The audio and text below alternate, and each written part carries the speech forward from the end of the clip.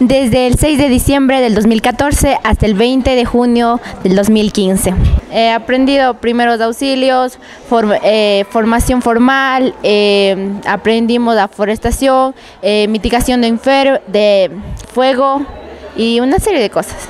sí me va a servir ya que siempre vamos a tener una ayuda inmediata, ya sea a nuestros familiares o al público que esté a nuestro lado o a todo el pueblo gironense.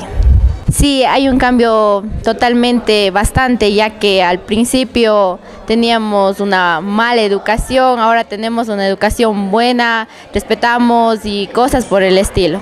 Excelente, pero como siempre al principio eh, nunca estuvimos acostumbrados, por ejemplo, a tener una formación una formación así, como que cuando nos equivocábamos algo, o cuando hacíamos algo mal, o cuando hacíamos alguna bulla, o no les hacíamos caso, nosotros como, digamos, como un, como un mini castigo teníamos eh, actividad física y eso no estábamos enseñados a hacer y poco a poco nos fuimos formando hasta llegar el día de hoy y ser así, buenos.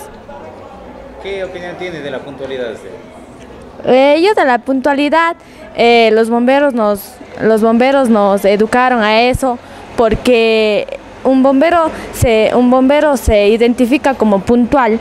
Eh, ellos nos han enseñado y ahora, ahora, eh, ahora de nuestra parte estamos bien puntuales siempre.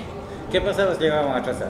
Eh, teníamos actividad física, abdominales, pechos, así piernas y, y hasta el dolor de cuerpo ya nos hacía aprender.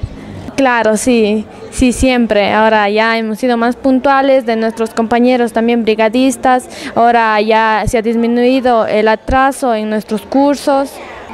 ¿Le gustaría ser bombero a usted?